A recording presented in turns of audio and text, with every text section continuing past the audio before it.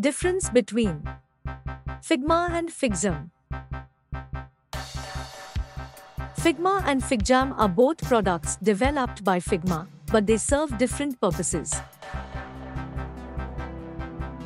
Figma is a design tool that allows designers to create and collaborate on user interfaces, icons, and other visual design elements.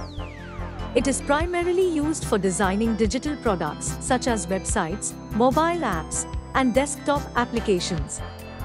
Figma provides a wide range of design features, including vector editing tools, prototyping, and design libraries. Figjam, on the other hand, is a collaborative whiteboard tool that allows teams to brainstorm, organize ideas, and collaborate visually.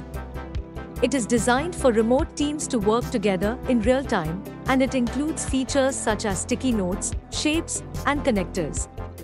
Figjam is not intended for creating high-fidelity designs, but rather for facilitating collaboration and communication among team members.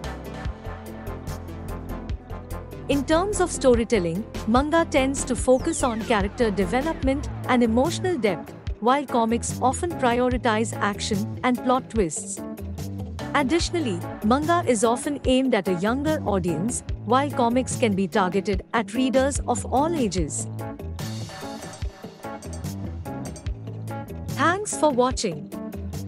Don't forget to hit the like button and subscribe.